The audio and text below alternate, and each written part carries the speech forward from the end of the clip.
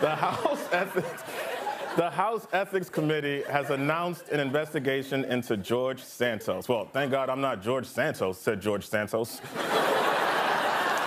Donald Trump accused Ron DeSantis of wanting to cut Social Security and Medicare and called the Florida governor a wheelchair over the cliff kind of guy. wheelchair over the cliff is also how Melania will finally get rid of him. House Republicans, concerned that China could use TikTok to illegally gather information on Americans, have voted for a bill that could ban the app nationwide.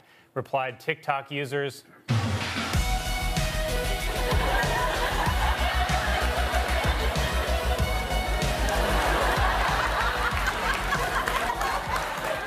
That's how he really dances, too.